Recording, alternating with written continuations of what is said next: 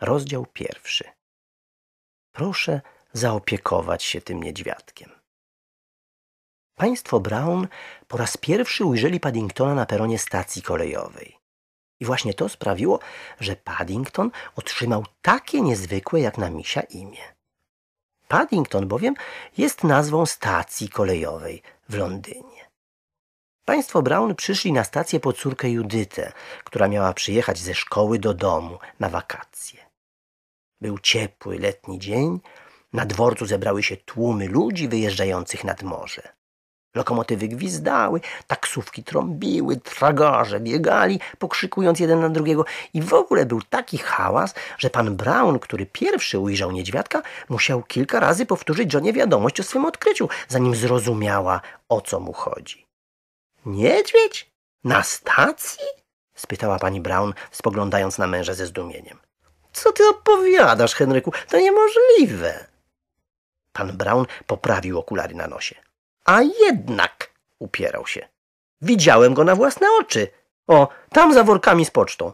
Na głowie ma bardzo śmieszny kapelusz. Nie czekając na odpowiedź żony, pan Brown wziął ją mocno pod ramię i zaczął się z nią przepychać przez tłum. Okrążyli wózek z czekoladą i herbatą, minęli kiosk z książkami i wąskim przejściem między stosami walizek przedostali się do biura rzeczy znalezionych. No, proszę, z dumą oznajmił pan Brown, wskazując w stronę ciemnego kąta magazynu.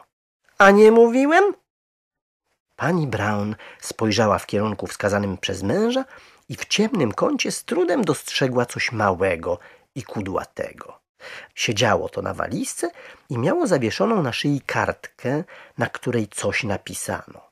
Walizka była stara i bardzo zniszczona. Na jej boku ktoś napisał dużymi literami bagaż podręczny.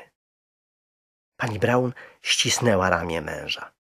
Och, Henryku, zawołała. Miałeś chyba rację. To jest niedźwiedź. Przyjrzała się uważnie stworzeniu siedzącemu na walizce. Wyglądało ono na bardzo niezwykłego niedźwiedzia. Było brunatne w brudnym odcieniu, a na głowie miało przedziwny kapelusz z szerokim rondem. Śmieszny kapelusz, jak powiedział przed chwilą pan Brown. Spod ronda spozierała na panią Brown para dużych, okrągłych oczu. Widząc, że w tej sytuacji wypada coś zrobić, niedźwiadek wstał i uprzejmie uchylił kapelusza, odsłaniając dwoje czarnych uszu. Dzień dobry, rzekł cicho i wyraźnie. Hm, dzień dobry, odparł pan Brown dość niepewnym głosem.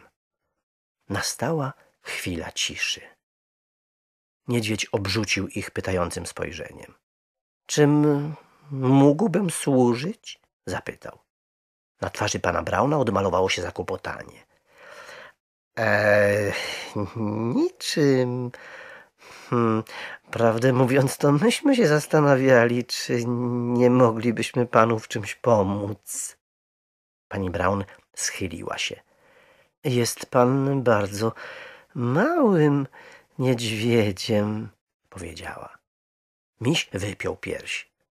Jestem niezmiernie rzadko spotykanym okazem niedźwiedzia, oświadczył z wielką godnością. Niewiele nas już zostało tam, skąd pochodzę, dodał. To znaczy gdzie? spytała pani Brown. Miś, zanim odpowiedział, bacznie się rozejrzał. Tam, w mrocznych ostępach Peru. Szczerze mówiąc, w ogóle nie powinno mnie tu być. Jestem pasażerem na gapę. Na gapę? Pan Brown zniżył głos i niespokojnie obejrzał się przez ramię. Wcale by się nie zdziwił, gdyby zobaczył, że za jego plecami stoi policjant z notesem i ołówkiem w ręce i skrzętnie wszystko notuje. Tak, przyznał niedźwiadek. Wyemigrowałem, pan rozumie? Oczy mu posmutniały.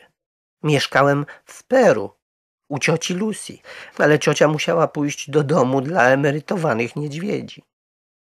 Nie powie pan chyba, że całą podróż z Ameryki Południowej odbył pan samotnie, zawołał pan Brown. Miś skinął głową. Ciocia Lucy zawsze mówiła, że chce, bym wyemigrował z Peru, jak tylko podrosnę. Dlatego właśnie nauczyła mnie mówić po angielsku. Ale jak pan sobie radzi?